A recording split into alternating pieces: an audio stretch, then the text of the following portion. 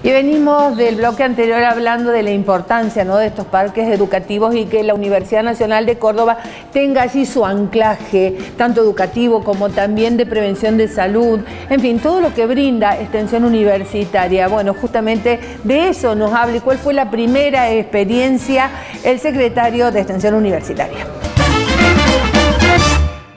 Importante es la tarea de extensión universitaria, indudablemente, y su participación en este convenio. El brazo extensionista de la Universidad Nacional de Córdoba, Conrado Estorani, es su secretario de extensión. Contento, me imagino. Sí, sí, por supuesto. Es. Eh, bueno, son la formalización y la consolidación de trabajos que ya venimos realizando. En este caso concreto es la eh, la suscripción de actas compromisos con la Municipalidad de Córdoba y la Universidad Nacional para trabajar fundamentalmente en el marco de los parques educativos. Eh, y la verdad es bueno que esto nos abre la posibilidad de tener un anclaje territorial para poder precisamente desarrollar todo tipo de actividad extensionista, todo tipo de actividad que vincule, que colabore eh, en, colaboración y comunión con los vecinos y con las necesidades que surjan de determinados sectores para que la universidad pueda estar presente. ¿Este acuerdo qué pilares fundamentales tiene más allá de la unión de Municipalidad de Córdoba con Universidad Nacional de Córdoba? Bueno, en primer lugar, es como, ah, durante el segundo semestre del año pasado realizamos una prueba piloto en un parque educativo, el Parque Educativo Norte, con el programa de la Secretaría de Extensión de Salud Integral que aborda la problemática eh, de la alimentación de manera integral, vinculado al desarrollo cognitivo, a la posibilidad de asimilar conocimientos con la, eh, cuando uno está bien nutrido y, desde una perspectiva obviamente de los derechos humanos y de acompañamiento. Este, este piloto salió muy bien, de manera tal que hoy lo vamos a replicar en los cinco parques educativos y por otro lado, concretamente, tenemos la posibilidad de trabajar en todo lo que sea la posibilidad de que la universidad colabore a través de sus programas, de sus propuestas, pero también de sus estudiantes, eh, en que a través del, del programa de compromiso social universitario en la posibilidad de trabajar sobre todo en los sectores más vulnerables de nuestra sociedad para colaborar en la reconstrucción de un tejido social que se ha, visto fuertemente deteriorado eh, con motivo del año 2020 que tuvimos, que está de más aclarar por qué.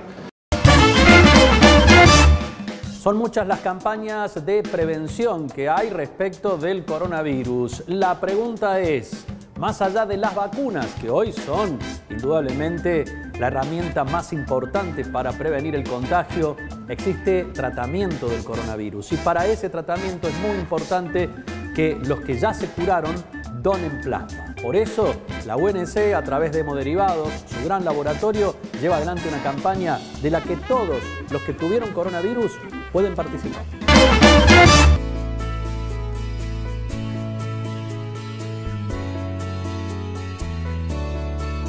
Hola, soy María Soledad Salazar, soy donante de plasma desde hace cinco años. Me sumé a la campaña cuando a mi hijo lo diagnosticaron. Vine a un encuentro aquí de pacientes y saqué un turno para empezar a donar plasma, para ayudar a mi hijo y otros niños que necesiten. Y a la vez a difundir sobre la campaña que hace Hemoderivados. De que nació, él empezó con problemas respiratorios y recién a los cinco años de vida lo pudieron diagnosticar. Mayormente él tenía problemas respiratorios, eh, la cual no podía correr, no podía jugar, eh, tuvo nueve neumonías eh, con internaciones graves y gracias a la gama globulina todo eso ya pasó y hace todo lo que hacen los niños, correr, jugar, saltar.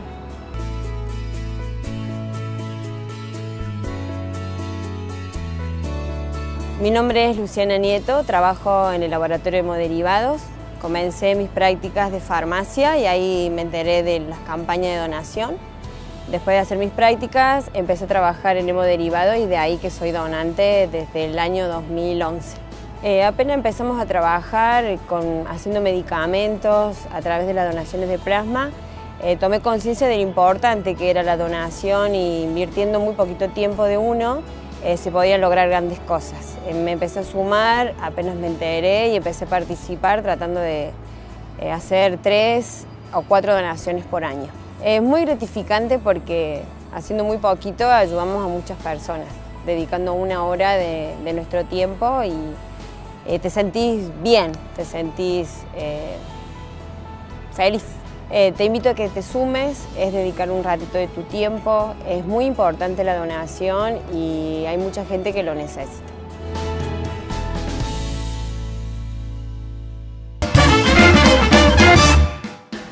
terminamos por ahora con este tema, pero atención porque toda la semana vamos a hablar de algo muy importante para ustedes, para los adultos y las adultas mayores, porque evidentemente en esta época de pandemia, de aislamiento, poder manejar lo que nos resulta tan difícil a las personas grandes, entre las cuales me incluyo, eh, las redes, eh, las, digamos, todos los elementos electrónicos, sea computadoras, sea teléfono, eh, hemos tenido que aprender demasiado rápido. Por esa misma razón hay una serie de tutoriales que le vamos a ir dando a conocer durante toda la semana de Retramando, que es un programa de extensión universitaria justamente para ustedes, para los adultos mayores, para que sepan a ver cómo manejar. En este caso, a ver de qué se trata, fíjense.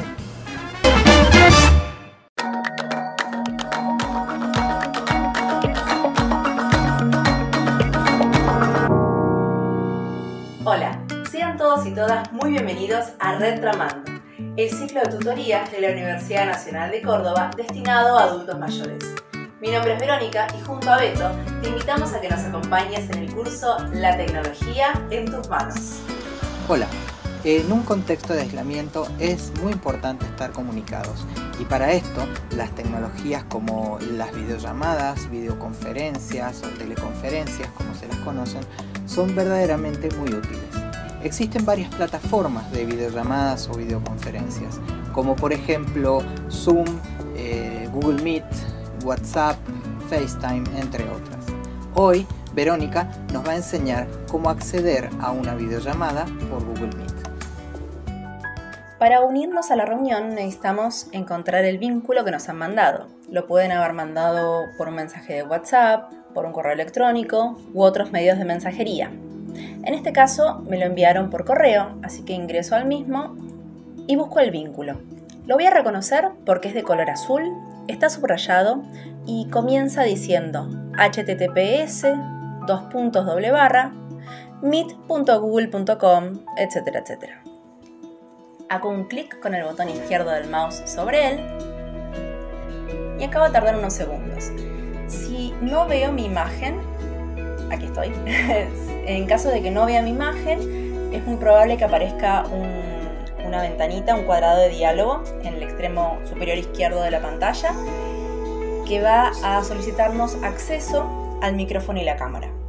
Se lo vamos a, a permitir, le vamos a dar aceptar y una vez que nos veamos correctamente vamos a buscar el botón unirse ahora y hacemos un clic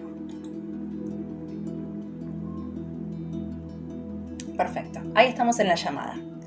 En caso de que no escuchemos correctamente lo que están hablando, debemos probar el volumen de nuestra computadora.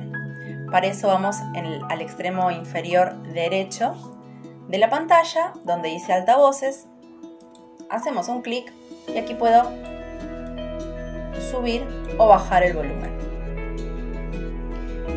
En caso de que no quiera que se escuche mi voz, debo silenciar el micrófono.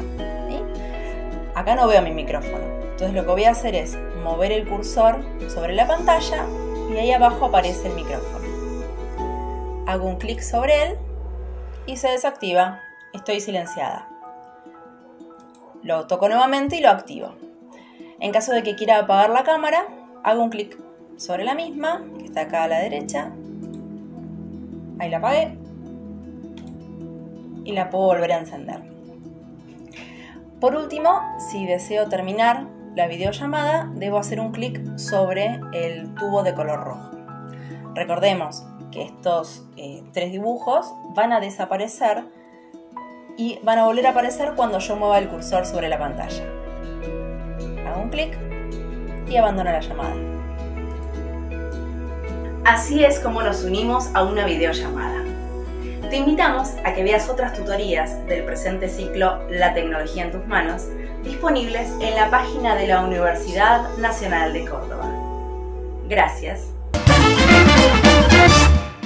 Momento de reconocer también tareas que se hacen en otras universidades. Nos vamos a Villa María, la Universidad Nacional de Villa María ha puesto en marcha los puntos de conectividad, herramientas de internet, de conexión, con equipamiento en todas sus sedes, pero no solamente para estudiantes, sino también para docentes, investigadores, graduados, la conectividad en todo lo que es necesario para esta nueva normalidad en la Universidad Nacional de Villa María.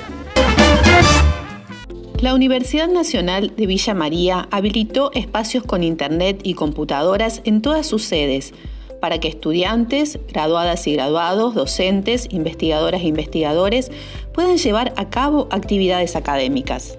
Los puntos de conectividad son una alternativa de conexión libre de Wi-Fi o disposición de computadoras según los espacios, para los cuales se deberá pedir un turno previo y en los que se cumple el protocolo vigente en relación a la ocupación máxima y a las medidas de bioseguridad.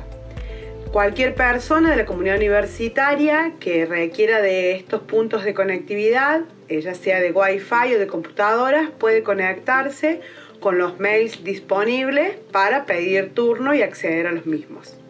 En momentos de excepcionalidad pedagógica eh, y de continuidad académica, en ese marco de la virtualidad que hemos encontrado como espacio para poder desarrollar nuestras, nuestras acciones académicas, la conectividad resulta fundamental y es por eso que desde la universidad queremos ofrecer estos puntos de conectividad que, que esperamos que se puedan transformar en espacios de uso tanto para estudiantes como para docentes y que puedan entonces resolver eh, esas dificultades que en algunos casos eh, eh, se tienen. Em, esperamos que, que, con esto podamos aportar entonces una, una alternativa para poder dar continuidad a esos procesos académicos.